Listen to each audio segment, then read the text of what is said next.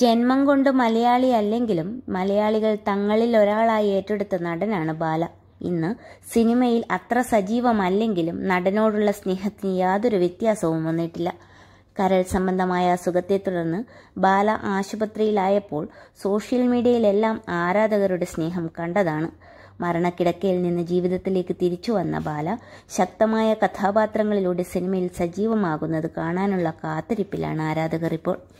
അതിനിടെ തന്റെ ജീവിതത്തിലേക്കുള്ള തിരിച്ചുവരവിനെക്കുറിച്ച് സംസാരിച്ചിരിക്കുകയാണ് ബാല. വെറൈറ്റി മീഡിയയ്ക്ക് നൽകിയ അഭിമുഖത്തിൽ സംസാരിക്കുകയായിരുന്ന നടൻ. ഇതൊരു പുതിയ ജീവിതമല്ലേ എന്നാണ് ആളുകൾ ചോദിക്കുന്നത്. എന്നാൽ അങ്ങനെയല്ലെന്ന് ബാല പറയുന്നു. പുതിയ ജീവിതമാണെന്ന് പറയാനാകില്ല. എല്ലാം പഴയതുപോലെ തന്നെയാണ്. ജീവിതത്തോടുള്ള തന്റെ ആറ്റിറ്റ്യൂഡും ചിന്താഗതിയും ഒക്കെയാണ് മാറിയത്.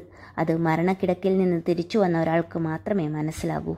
അല്ലാത്ത ഒരാൾക്ക് മനസ്സിലാകില്ലെന്നും ബാല പറഞ്ഞു. അസുഖത്തെക്കുറിച്ച് മുന്നേ തന്നെ അറിയാമായിരുന്നെന്നും നടൻ വ്യക്തമാക്കി. പഴയ കാര്യങ്ങളിലേക്കൊന്നും പോകാൻ താൻ ആഗ്രഹിക്കുന്നില്ലെന്നും ബാല പറഞ്ഞു. കാരണം ചില ആളുകളുടെ പേരുകൾ എടുത്തു പറയേണ്ടി വരും. പഴയ കാര്യങ്ങൾ പറഞ്ഞാൽ അത് ചിലപ്പോൾ ലീഗൽ പ്രശ്നങ്ങളിലേക്ക് പോകാം. അതുകൊണ്ട് പറയാൻ താല്പര്യമില്ല പഴയ കാര്യങ്ങൾ പഴയ രീതിയിൽ പോകട്ടെ.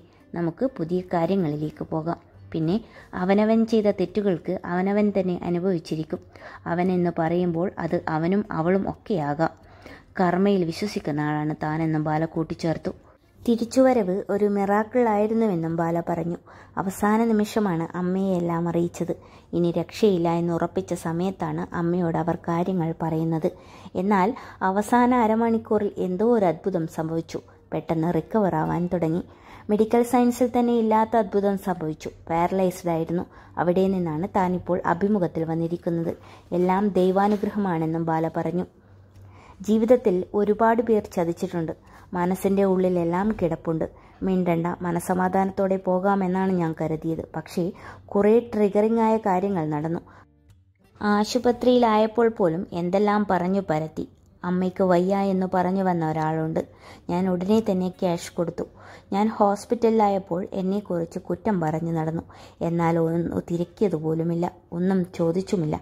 എന്നെ തിരക്കിയില്ലെങ്കിലും വേണ്ടില്ല. പക്ഷേ കുറ്റം പറയരുതെന്ന് ബാല പറയുന്നു. എനിക്കിപ്പോൾ എന്റെ സന്തോഷമാണ് വലുത്. അങ്ങനെയാണ് ജീവിക്കുന്നത്. ഒരു ദിവസം ഒരു പത്ത് നാൽപ്പത് കോളെങ്കിലും സഹായിക്കണമെന്ന് പറഞ്ഞു വരാറുണ്ട്. അതിൽ പത്ത് കോളെങ്കിലും സഹായിച്ചില്ലെങ്കിൽ ഞാൻ ആത്മഹത്യ ചെയ്യുമെന്ന് പറഞ്ഞായിരിക്കും. ശരിയെന്ന് പറഞ്ഞ് ഞാൻ കട്ട് ചെയ്യും. എനിക്ക് അതിലൊന്നും ചെയ്യാൻ കഴിയില്ല. കഷ്ടതകളെ അതിജീവിച്ച് വേണം മുന്നോട്ട് പോകാൻ. അല്ലാതെ ആത്മഹത്യ ചെയ്യാൻ പോകുന്നവർ അത് ചെയ്യുന്നതാണ് നല്ലത് ബാല പറഞ്ഞു. ജീവിതത്തിൽ പലരും തന്നെ ചതിച്ചിട്ടുണ്ട്. അവരോടൊക്കെ താൻ ക്ഷമിച്ചിട്ടുമുണ്ട്. തനിക്കും എലിസബത്തിനും ഇടയിലുള്ള പ്രധാന വഴക്ക് അതിന്റെ പേരിലാണ്. ചതിച്ചവരോട് ക്ഷമിക്കുന്നത് എന്തിനാണെന്ന് ചോദിച്ച് എലിസബത്ത് വഴക്കു പറയുമെന്നും ബാല പറയുന്നു. താൻ മരിച്ചെന്ന് ചിലർ തീരുമാനിച്ചുവെന്നും തന്റെ കാർ വരെ അടിച്ചുകൊണ്ടുപോകാൻ അവർ ശ്രമം നടത്തിയെന്നും ബാല അഭിമുഖത്തിൽ പറഞ്ഞു.